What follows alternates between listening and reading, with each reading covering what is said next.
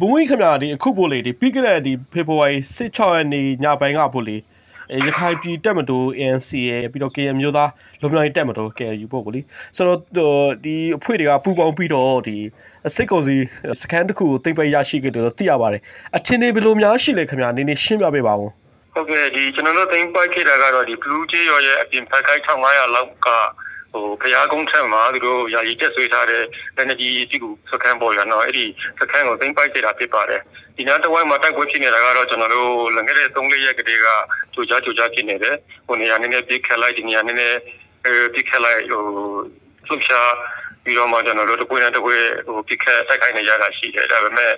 စကန်သိမ်းတိုက်ခိုက်ခဲ့တာကြတော့မနေ့ဟိုနေ့လေပိုင်းဟိုငါးရီလောက်ကတည်းကစပြီးကျွန်တော်တို့စကန်ဟိုစ တင်တင်ပိုက်ခဲ့တာဖြစ်ပါတယ်ခင်ဗျာ၄နာရီခွဲလောက်မှတင်ပိုက်ရရှိခဲ့တယ်ဒီဝဲဒီမှာကျွန်တော်တို့ဘက်ကရန်သူတဲ့ရဲ့လက်နက်ကြီးတွေပါဝင်ဟိုစစ်သေးရစစ်တွေပါတယ်တင်ပိုက်ရရှိခဲ့တယ်ရန်သူကလည်းဟိုစုကောတော်ပြီးတော့မှဒီလိုမျိုးဝတီကပူပေါင်းအင်အားတွေနဲ့ပြင်ပြီးတော့မှဟိုပြင်ပြီးတော့ရင်ဆိုင်ဖို့ကြိုးစားတယ်အဲ့ဒီအနေအထားမှာရှိပါတယ်ခင်ဗျာရခိုင်ပြည်တက်မတော် ANC ရဲ့မြို့သားလူမျိုးရေးတက်မတော်ပို့လေဒီဘုံမွေးဖက်က ဟိုဒီဒီစစ်အားဘယ်လောက်များပါလဲတပြီးတော့ဒီဒီစစ်ကောင်စီဘက်ကရောဘယ်လောက်ဥယျာဉ်များပါလဲခင်ဗျာထိခိတ်ကြံတန်ရရောက်မှုအခြေအနေကဘယ်လိုများရှိတယ်ခင်ဗျာနှစ်ဖက်အခြေအနေကโอเคဒီမှာတက်ဆွေးထားတာကတော့ဒီကျွန်တော်တို့စစ်ကောင်စီအင်အား30လောက်ရှိမယ်လို့ခန့်မှန်းရပါတယ် BGI အင်အားက25လောက်ရှိမယ်ဟိုစုစုပေါင်း90လောက်ရှိတာပေါ့ဗျာเนาะကျွန်တော်တို့ဒီစကန်တက်သိမ်းတဲ့ခွဲကတော့အင်အား မတင်မရင်ပါပဲဟိုသူတို့ဟို30 40ဝန်းကျင်လောက်စကန်တင်တာကြီးတယ်နောက်တစ်ခွဲကတော့ကျွန်တော်တို့တခြားနေရာဖြန့်ခွဲဆောင်နေပေါ့ဗျာအဲ့ဒီအနေထားနဲ့တင်ပိုက်ခဲ့တာဖြစ်ပါတယ်ခင်ဗျာဟိုချက်ဆုံးတာကတော့ကျွန်တော်တို့မဟာမိတ်တွေကတော့ထိခိုက်ဒဏ်ရာရတာတွေရှိတယ်ဟိုရန်သူဘက်ကတော့ကျွန်တော်တို့ဆေးရောက်ထက်မနေဟိုထိခိုက်ဒဏ်ရာရမှုများရှိမယ်လို့ကျွန်တော်တို့ချသိရပါတယ်ဒီတိုက်ပွဲမတိုင်ခင်ပို့လေဒီသိမ့်ပိတ်မှုစကန်သိမ့်ပိတ်မှုမတိုင်ခင်မှာအရင်ကဒီတိုက်ပွဲတွေဘလို့အခြေအနေများရှိခဲ့တယ် ဟိုတိုက်ပွဲကတော့ဒီ blue ဆိုတာကဒီကျွန်တော်တို့ပုံမှန်အားဖြင့်ရန်သူစစ်ကောင်စီတပ်နဲ့ BDF ကစုမှုထားတဲ့နေရာဖြစ်တယ်ဟိုဒါပေမဲ့လို့ကျွန်တော်တို့ဒီ KNU တို့ဒီ KB တို့ကလည်းဒီမှာဖြတ်တော့ဖြတ်လာတဲ့ ပုံမှန်နေနေစုမှုလှုပ်ရှားနေရတာလည်းရှိတယ်။တော့အဓိကအခုနောက်ပိုင်းဒီ PDF တွေဒီနေ့တတ်တဝိုင်းမှာကျွန်တော်တို့အင်အားများလာတဲ့အပေါ်မှာစစ်ကောင်စီတက်က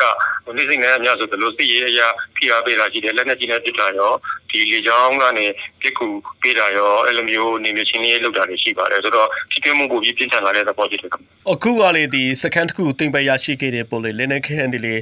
ရရှိခဲ့တဲ့နောက်ပိုင်းမှာဒီနောက်ဒီပို့လေတိုက်ပွဲကဖြစ်လာနိုင်တဲ့အခြေအနေရှိနေလို့ပြောနိုင်လားထိဒီတိုက်ပွဲမှုတွေဘယ်လိုများဖြစ်လာနေလို့ပြောလို့ရလိမ့်ပုံမှုကြီးနေပြတက်ပွဲကတော့ပုံပြီးတော့မှဟိုဆက်တိုက်ထိလာနိုင်တဲ့အနေအထားတော့ရှိတယ်လို့ကျွန်တော်ရေဘူးရအပြင်ပြောလို့ရတယ်။ဘာကြောင့်လဲဆိုတော့အရင်ကတည်းကမှသူတို့ကလက်နေကြီးနဲ့ရောလေကြောင်းပစ်ကူနဲ့ရောဟိုအမြဲတမ်းလို့လို့ဟိုကျွန်တော်တို့တက်တွေကိုသူတို့ကရှင်းမုံကိုစူးစမ်းနေတာဖြစ်တယ်အခုနောက်ပိုင်းမှာမနေ့ကတည်းကဟိုသူတို့ကမြောက်ဒီကနေပြီးတော့မှ BGF အင်အားဟိုစစ်ကားစင်းနေနေလာပြီးတော့မှအင်အားဖြစ်တယ်အခုလည်းလေကြောင်းကနေ ဟိုတိုက်ခိုက်မှုရှိနိုင်တယ်ဆိုတော့ဟိုတတိယများကိုကျွန်တော်လည်းရရှိပါတယ်ခင်ဗျာဆိုတော့ပြီးခဲ့တဲ့2020တိပို့လေရခိုင်ပြည်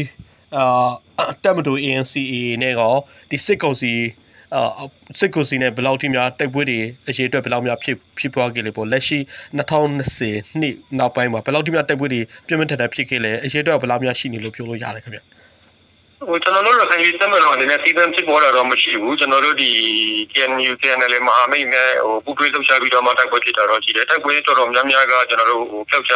အပေါ်ဟိုထိတွေ့မှုဖြစ်တာဆိုတော့ဟိုပွေးစင်ရကျွန်တော်ပြောရခဲ့တယ်ခင်ဗျာ ဟိုပြင်းထန်တာကတော့ဒီကျွန်တော်ဒီနောက်ပိုင်းမှာကျွန်တော်2017နောက်ပိုင်းမှာတော့ဒီကျွန်တော်တက်မှ9နေနေမှာနောက်တက်မှ6နေနေမှာဟိုပြင်းပြင်းထန်ထန်ဖြစ်တာကြီးတယ်ဒါပေမဲ့ပြင်းပြင်းထန်ထန်ဖြစ်တယ်ဆိုတာကဟိုတော်တိုင်းမှာနှစ်ပွေးတွေ့ပြီးတော့မှထိတိုက်ပြင်းထန်တဲ့တိုက်ပွဲဖြစ်တာမျိုးမဟုတ်ဘဲနဲ့ဟိုရန်သူစကန်းကြီးတွေကိုတင်ပိုက်တဲ့အဆင့်မျိုးမှာဒါမှမဟုတ်ရှင်ကိုတိုက်ပွဲတွေလုပ်တဲ့အချိန်မှလည်းမျိုးပြင်းထန်မှုမျိုးပဲရှိပါတယ်ခင်ဗျာ ဆိုစကန်ဘယ်နှခုလောက်ဒီပို့လေဒီစစ်ကောင်စီရဲ့စကန်ဘယ်နှခုလောက်တိတ်ပဲရရှိခဲ့တာရှိတယ်ထိတိတက်ပွဲကအရေးအတွက်ကဘယ်လောက်များရှိနေလို့ပြောလို့ရတယ်ခင်ဗျာဒီဒီနေ့တိုးတော့ပေါ့2020နှစ်ဖေဖော်ဝါရီနောက်ပိုင်းမှာအချိန်နေမှာပေါ့အခုဟို2020 2020တုန်းကတော့ကျွန်တော်ဒီတက်မှ9ဘန်းမှာတော့ဟိုရန်သူစကန်ပေါင်း20ကျော်လောက်ကိုကျွန်တော်တို့ပူပေါင်းမဟာမိတ်ပူပေါင်းအင်အားစုများကဟိုတင်ပိုက်ခဲ့တာရှိတယ်ဒါပေမဲ့လို့ကျွန်တော်တို့မပြောက်ကြဆိုတော့ယာယီပတ်ပြီးတော့ဟို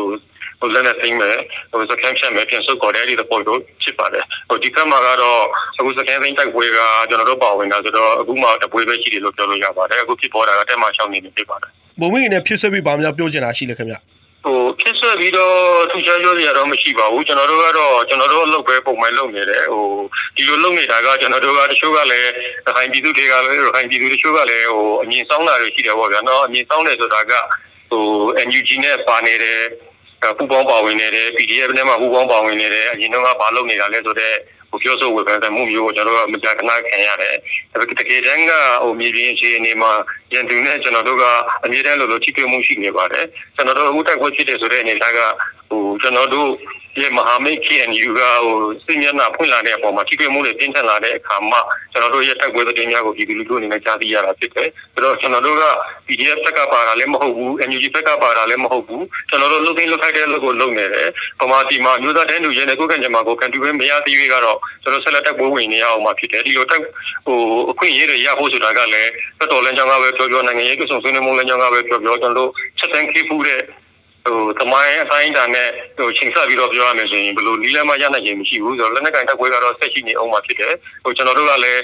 ဟို NUG နဲ့စစ်ကောင်စီအစဉ်ပြေတွေပဲဖြစ်စေမပြေတွေပဲဖြစ်စေကျွန်တော်တက်ပွဲကတော့ကျွန်တော်ဆက်လက် ဆင်နေနေရအောင်ပဲဖြစ်တယ်ဆိုတာကိုပဲပြောလို့ပါတယ်ခင်ဗျဟိုဟုတ်ကဲ့တစ်ဆက်တည်းမှာပဲကျွန်တော်ဖြစ်ပြပြီးမေးချင်တာတခုပါပဲရခိုင်ပြည်မှာဆိုလို့ရှိရင်ပြီးခဲ့တဲ့2018ခုနှစ်ကစပြီးတော့ A နဲ့ဒီစစ်တပ်တို့တိုက်ပွဲတွေပြင်းပြင်းထန်ထန်ဖြစ်ပေါ်ခဲ့ဒီပေါ့လက်ရှိအခြေအနေမှာလည်းအာဒီတိုက်ပွဲတွေငြိမ်သက်နေတယ်ပေမဲ့အာစီရဲတင်မှာမှုအခြေအနေကတော့ရှိနေတော့ဘူးလေ2018ခုနောက်ပိုင်းအခြေအနေမှာဒီ ANCA နဲ့ပေါ့ဒီရခိုင်ပြည်လွတ်မြောက်ရေးတပ်မတော်ကဒီတိုက်ပွဲတွေကတစုံတရာဖြစ်ပွားခဲ့တာရှိလားဘလို့အခြေအနေများရှိကြလဲအဲ့ဒီတုန်းက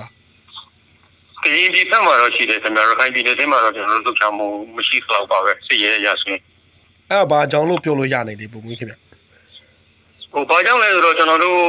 စစ်စင်ရဲတစ်ခုလုပ်မယ်ဆိုရင်ပေါ့ဗျာနော်ဟိုစစ်ရဲသဘောအရပြောမယ်ဆိုရင်ကျွန်တော်တို့ရဲ့နောက်တိုင်းလုံဆောင်ရေးကအရေးကြီးဆုံးဖြစ်တယ်နောက်တစ်ခုကထောက်ပိုးလမ်းကြောင်းကအရေးကြီးဆုံးဖြစ်တယ်ဆိုတော့ကျွန်တော်တို့အနေထားနဲ့ကျွန်တော်တို့အင်အားတွေကဟိုကျွန်တော်တို့အခုလက်ရှိ ရည်တည်နေတဲ့အနေအထားမှာပဲအဆင်ပြေတယ်ရခိုင်ပြည်မှာအခြေချလုံချဖို့ကကျွန်တော်တို့အတွက်ဟိုထောက်ပိုးလမ်းကြောင်းရောငွေရေးကြေးရောအင်အားပြရောကျွန်တော်တို့မပြီးစုံဘူးအဲ့ဒီအနေအထားကြောင့်ဖြစ်ပါတယ်ဟုတ်ကဲ့ဘုံမင်းခင်ဗျအခုလိုဖြေကြားပြတဲ့ Western U ကကျေးဇူးအများကြီးတင်ပါတယ်ခင်ဗျဟုတ်ကဲ့ပါခင်ဗျာကျေးဇူးပါ